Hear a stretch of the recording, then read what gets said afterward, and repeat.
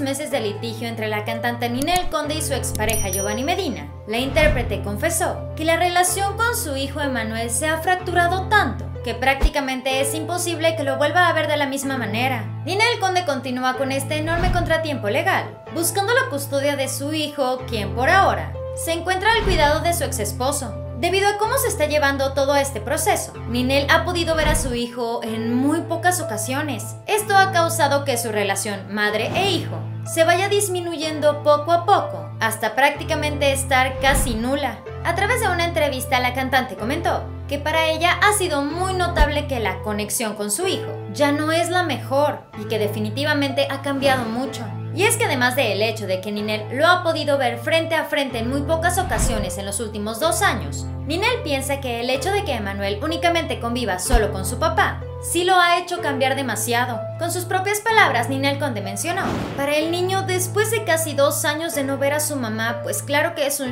¿no? Y pues no sé, Además de solo tener información de un lado, la conexión entre los dos está totalmente fracturada.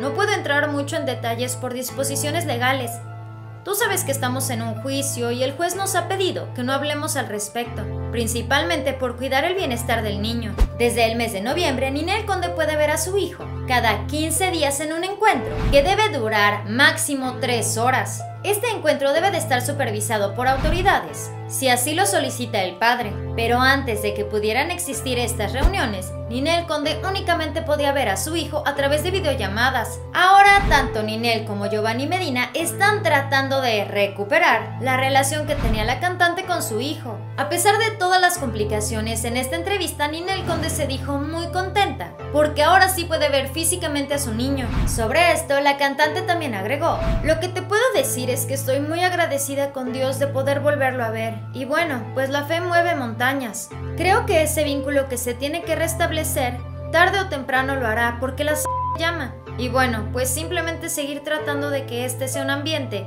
muy cordial en las convivencias. Aunque ahora existe una muy, muy mala relación entre Ninel Conde y su expareja Giovanni Medina, Ninel sí se dijo muy agradecida con el padre de su hijo por permitirle tener esta interacción física con él. La cosa es que hasta este momento Giovanni Medina ha permitido que Ninel y su hijo se vean. Si él lo decide, en cualquier momento estas convivencias pueden terminar. Y aunque actualmente Ninel está viviendo un proceso legal bastante complicado, por haber señalado legalmente a su expareja por el mal moral que le hizo, Ninel ha decidido dejar de lado esos contratiempos por el bien de Emanuel. Para finalizar con su entrevista, Ninel Conde afirmó, empezar el año viendo a mi hijo fue una bendición muy grande y también tengo que decirlo, ¿por qué no?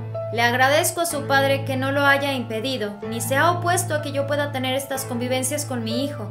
Se lo agradezco por el bien de Emanuel, porque creo que es importante hacer a un lado las emociones personales, lo que sienten los adultos entre ellos, que se quede entre ellos. Esto fue Famosos de cerca. Dale like a este video, suscríbete y síguenos en Facebook. Espero que tengas un excelente día. Nos vemos muy pronto. Bye.